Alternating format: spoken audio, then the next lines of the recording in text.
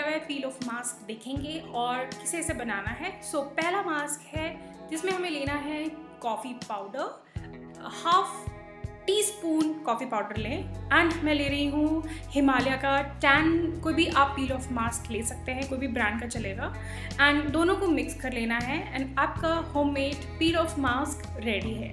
So this is just mix करके ready to use and then इसको आप apply कर सकते हैं।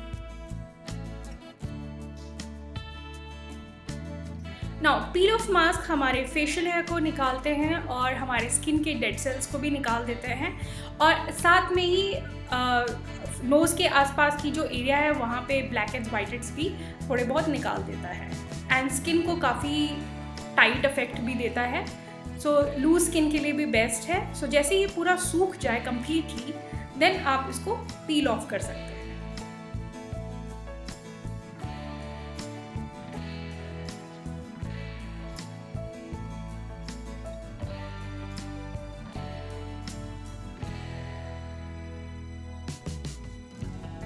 सो पील ऑफ़ मास्क आप महीने में एक या दो बार ट्राई कर सकते हैं। सो पील ऑफ़ मैंने निकाल दिया है then you can wash your face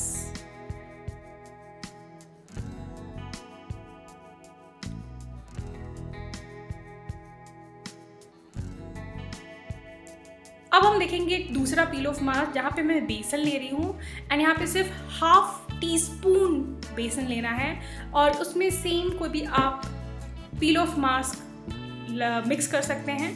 and इतना इस तरह से मिक्स करना है कि उसकी कंसिस्टेंसी फ्लोई हो और वो ईजिली आपके फेस पे लग जाए। सो so, काफ़ी फ्लोई कंसिस्टेंसी वाला आपको मास्क तैयार करना है। सो so, मास्क लगाने से पहले मैं फेस फेस को आप क्लीन कर लीजिए रोज़ वाटर से।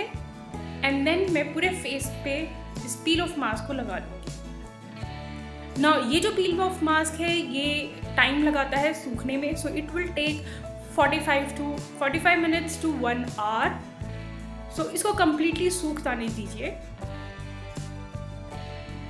सो so, इसको टाइम लगता है around more than one hour भी लग सकता है। कम्प्लीटली सूखने के बाद आप इसको निकाल सकते हैं।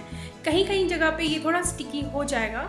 सो नो प्रॉब्लम आप जहाँ जहाँ निकल रहा है निकाल सकते हैं। And then after that you can wash your face